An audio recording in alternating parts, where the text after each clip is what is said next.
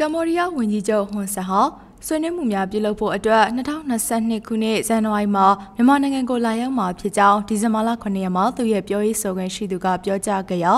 2021ခုနှစ်ဖေဖော်ဝါရီလနောက်ပိုင်းမြန်မာနိုင်ငံကိုလာရောက်တဲ့ပထမဆုံးနိုင်ငံတကာခေါင်းဆောင်ဖြစ်လာမှာဖြစ်ပါတယ်။ဖေဖော်ဝါရီမှာတမတော်ကနိုင်ငံတော်အာဏာကိုရယူခဲ့ပြီးနောက်ပိုင်းမြန်မာနိုင်ငံမှာမငြိမ်မသက်မှုများဖြစ်ပွားလျက်ရှိပြီးစီးပွားရေးမှာလည်းချိနဲ့လျက်ရှိပါတယ်။ မြန်မာနိုင်ငံရဲ့နိုင်ငံတော်စီမံအုပ်ချုပ်ရေးကောင်စီနာဆာကာကုနိုင်ငံတကာကတန်တမန်ရေးအရာဖိအားများပေးဖို့အားထုတ်နေပေမဲ့လည်းကမ္ဘောဒီးယားနိုင်ငံကိုဆယ်စုနှစ်၃ခုကြာအောင်တမန်နီစီးမြင့်နေနဲ့အုပ်ချုပ်လာခဲ့သူဟွန်ဆန်က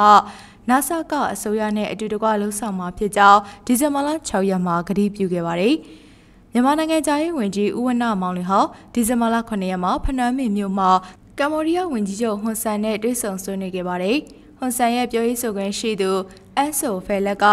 ကမ္ဘောဒီးယားဝန်ကြီးချုပ်ဟွန်ဆန်ဟာဇန်နဝါရီလ9ရက်နဲ့10ရက်နေ့တွေမှာမြန်မာနိုင်ငံကိုလာရောက်ဖို့အစီအစဉ်ထားကြောင်းပြောကြားခဲ့ပါတယ်။ဒေသတွင်းအဖွဲ့အစည်းဖြစ်တဲ့ရှေ့တောင်အာရှနိုင်ငံများအဖွဲ့အာဆီယံက